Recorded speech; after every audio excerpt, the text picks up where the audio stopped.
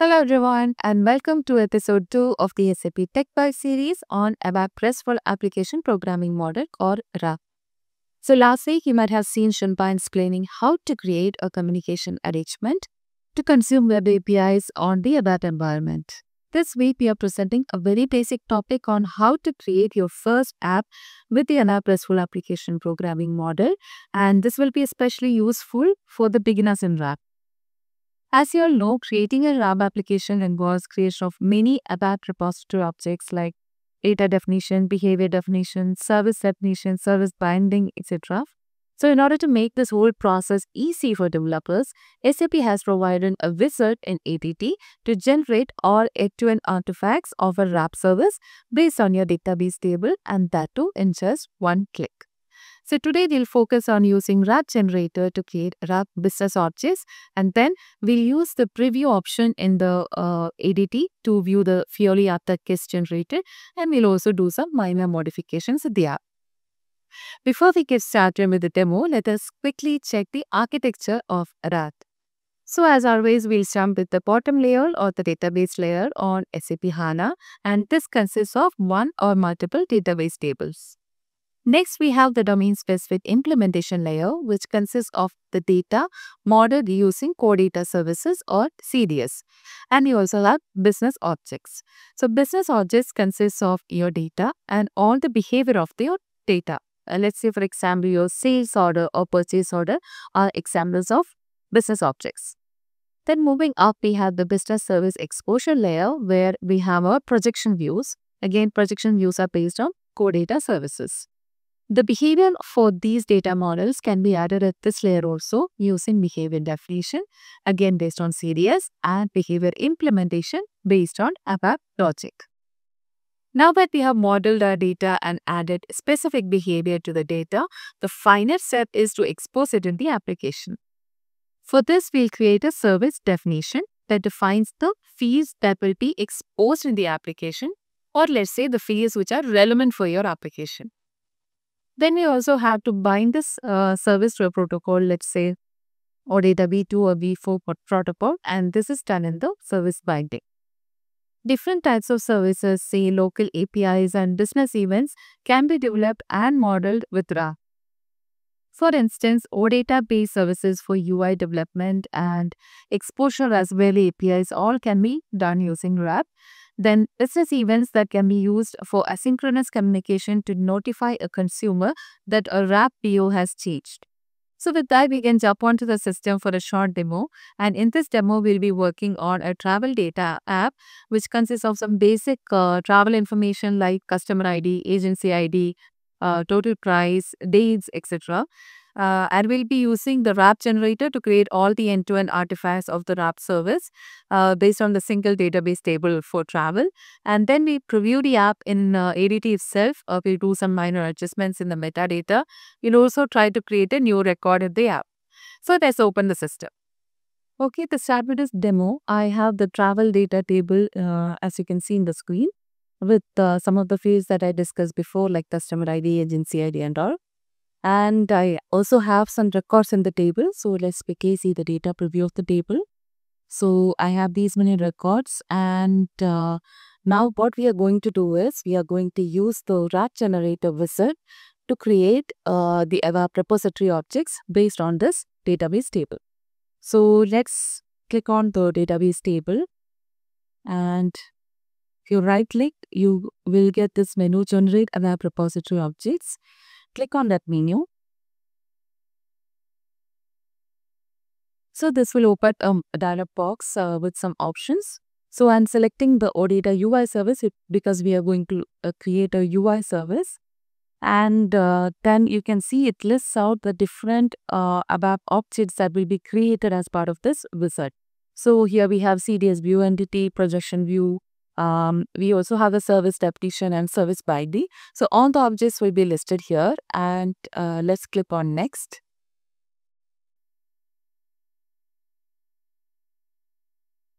Okay, let's give the package name and click on next again. Alright, so it shows a reference object which is nothing but the database table based on which we are going to create all these above objects. And we can give a name to this app. So we're calling it Travel App 144 then we have to provide uh, specific naming to all these uh, objects that are getting created so that we can identify it and uh, we can also name it according to the naming conventions followed by uh, S4HANA. Alright, so in the data model, we are going to name the root view as ZRAP 100 underscore because it's a root view. I'm going to give the prefix R and because it's a travel data set, I'm going to name it accordingly and I'll give a suffix. And I'm also giving the alias as travel. Now going to the behavior, we have the behavior implementation class because the behavior uh, definition is again uh, created with the same name as the root entity. So we are going to give a name to the behavior implementation class. So let's give the prefix as PT and because it's a reference view, we are going to give R and travel underscore 144. So now comes the draft table where the temporary values will be saved. Let us also give a proper name to the draft table. Okay. And now comes the projection view. So the projection view, we can name it as it at 100 because it's a consumption view. I'm giving the prefix as C and uh, okay. And now comes the projection behavior implementation class. So similarly, they in the behavior implementation class for the projection glue.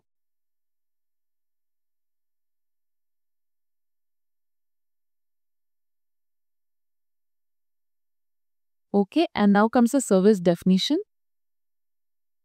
So we give a similar name to the service definition also. Okay, and now finally comes the service binding.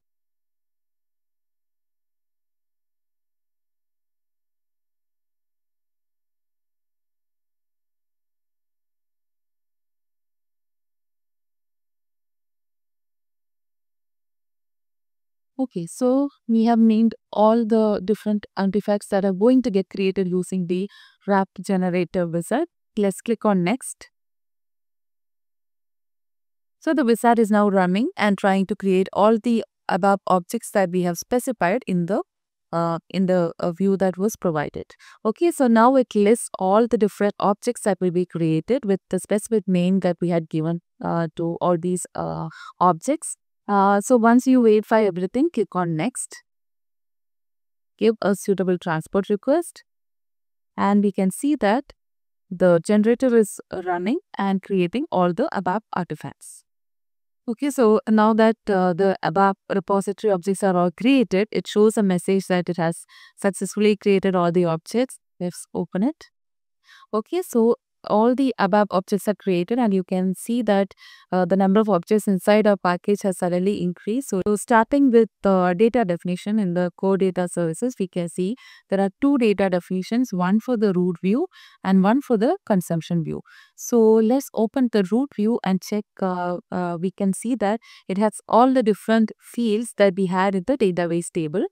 And here we are doing a mapping or uh, the generator has created a, a, root view with all the mappings correctly because here you can see that this is the ABAP uh, dictionary table field and here we have the CDS view uh, field name which is mapped accordingly and uh, again uh, coming to the consumption view we can see all the different uh, fields that are available in our in our CDS view, the projection view, which we would like to expose in the application. Okay, now coming to the behavior definition, we have one for the root view and one for the consumption view. So for the root view, we can see the different operations like the CRUD operations, uh, create and uh, and uh, delete, uh, etc. And uh, similarly, you can also see the same actions or uh, operations available in the behavior definition for the consumption view. Then finally, we have uh, two more classes created in the source code library.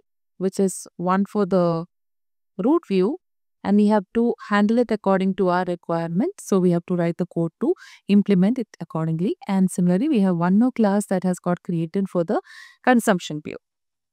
Okay, and finally we have uh, the service definition and service binding.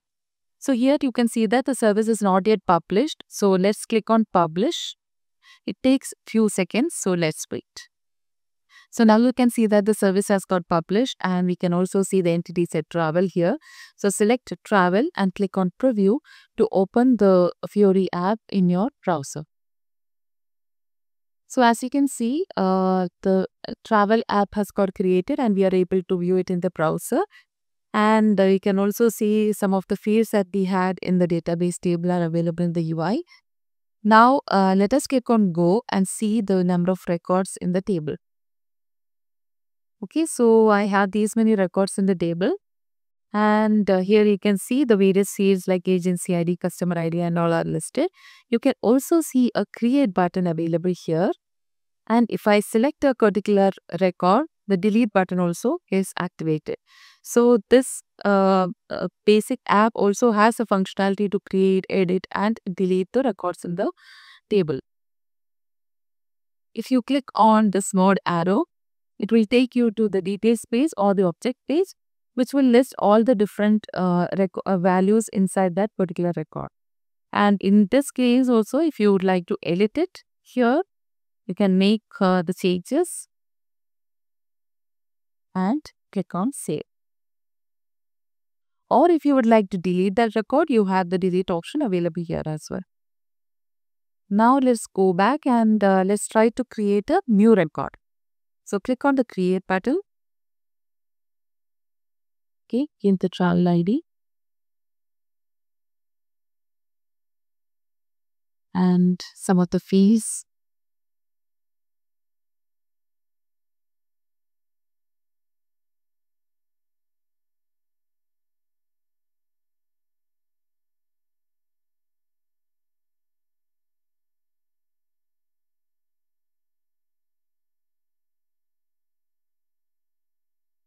Okay. So I've given some of the uh, necessary values and I'm clicking on create. So this will create a new record in the table. So let's go back and check. I have a new record created here.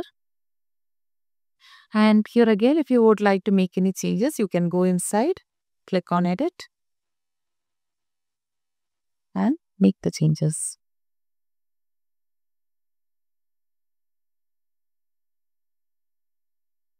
So now as a next step, let us add a travel ID as one of the selection fields in the app. And uh, for this, we have to change the or adjust the metadata extension. So let's go to ADT and open the metadata file.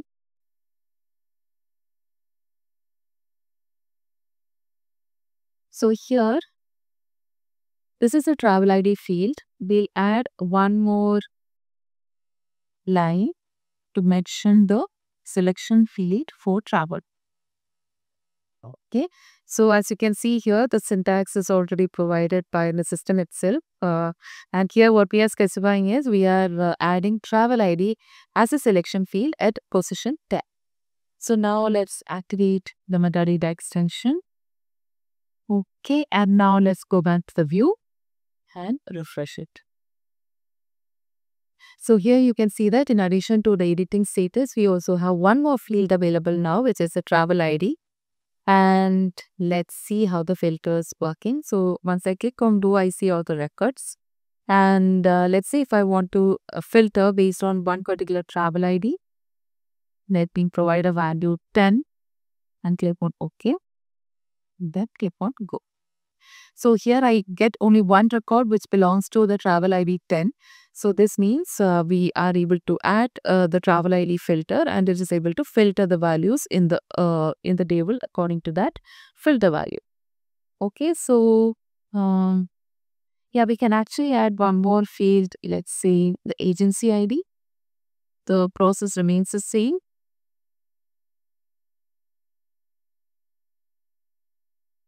Okay, I'm adding it to position 20. Again, let's activate the metadata extension. And once it is activated, we'll refresh the view. So now you can see only travel ID as a filter feed. Now once I refresh the view, I should be able to see two filter, uh, two new filter fields, travel ID and agency ID. So now let's see for agency ID filter